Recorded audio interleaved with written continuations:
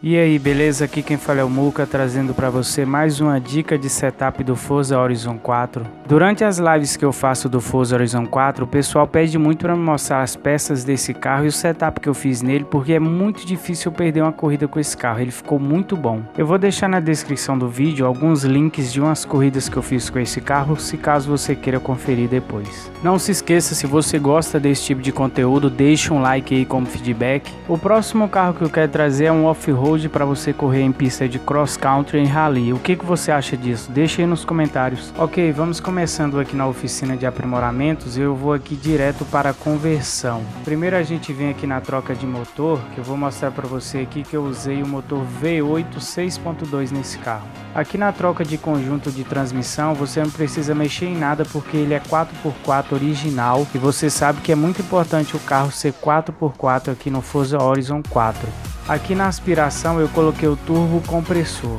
Aqui na aerodinâmica e aparência, eu coloquei o para-choque de corrida e eu coloquei também o aerofólio de corrida. O restante aqui eu não mexi em nada. Aqui no pneus e aros, eu não coloquei composto de pneus. Aqui na largura de pneu dianteiro eu coloquei o máximo. Aqui na largura de pneu traseiro eu também coloquei o máximo. Aqui no estilo de aro eu coloquei esse modelo aqui.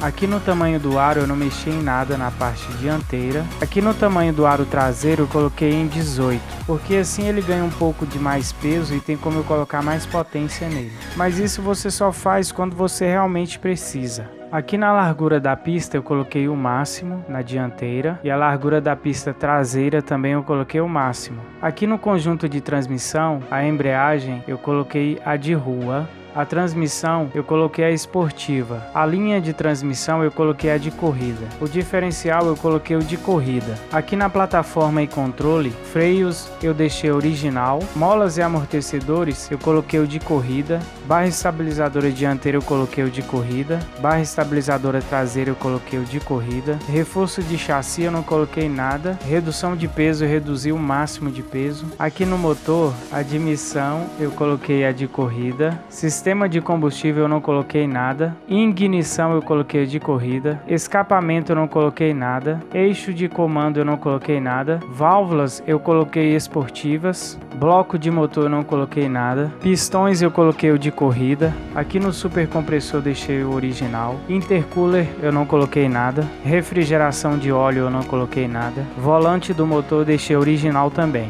Ok, essas foram as peças que eu coloquei no carro. Agora a gente vai ver o setup que eu fiz no carro, porque isso é muito importante também. Se tiver algum carro que você gostaria que fizesse o setup dele, deixe nos comentários para mim. Não se esqueça, se você curte esse tipo de conteúdo, deixe um like aí como feedback. Nessa parte de tunagens, eu não vou entrar muito em detalhes técnicos, porque vocês sabem que antes da gente chegar nessa parte aqui, a gente precisa fazer alguns testes, fazer alguns cálculos. Se você está chegando agora no canal, não conhece os outros vídeos mais avançados de setups, deixe aí nos comentários que eu mando o link link para você ou eu vou deixar os vídeos aí na descrição para você dar uma olhada depois.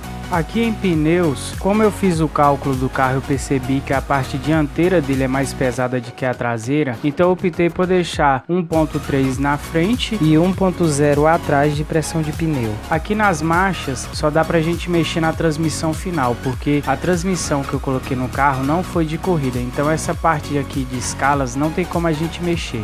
Aqui no alinhamento, como eu disse, eu fiz aqueles cálculos para me chegar nessas numerações aqui. Se você não viu o cálculo sobre pressão de pneus e outros alinhamentos, deixe aí nos comentários que eu mando o link para você. Aqui na barra estabilizadora também existe um cálculo para chegar nessa numeração. Aí você testa o carro na pista, se ele tiver muito rígido, você vai diminuindo a rigidez. Aqui nas molas eu também fiz um cálculo para chegar nessa numeração, fiz uns testes no circuito e fui diminuindo gradualmente até chegar na numeração que eu gosto. Lembrando Lembrando que como a parte dianteira é mais pesada, então a dianteira ela vai ter uma mola mais rígida e a traseira vai ser mais flexível. Aqui também na parte de amortecimento foi toda calculada para chegar nessa numeração aqui. A parte aerodinâmica vai do teste no circuito, você vai percebendo se o carro tem mais aderência ou ele tem menos aderência, vai do seu gosto. Se você quer um carro que tenha mais velocidade, você puxa para a esquerda. Se você quer mais aderência, você puxa para a direita. Aqui no freio não tem como a gente fazer nenhum uma regulagem porque eu não coloquei freio de corrida.